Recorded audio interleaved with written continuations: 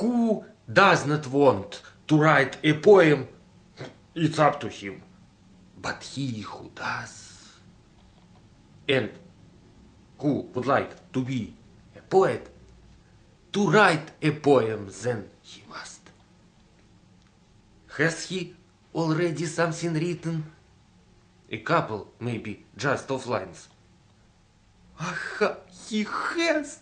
Then he continues, and if he does it twice or thrice, how he astonished will be when he discovers that a poem that he would like to written be is already here and he is a.